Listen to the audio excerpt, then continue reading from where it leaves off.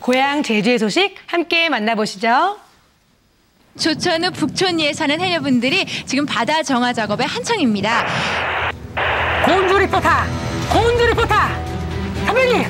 아, 선배님! 안 들리십니까? 여기는 2023! 1996 극락하라! 응답하라! 선배님! 선배님! 선배님! 안녕하세요. 27년 전 어머. KBS 리포터로 활동했던 고은주입니다.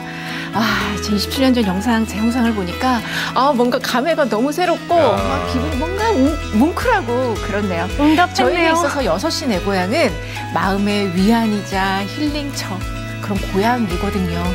공영방송 KBS 50주년 너무너무 축하드리고요. 여섯 시 내 고향 사랑해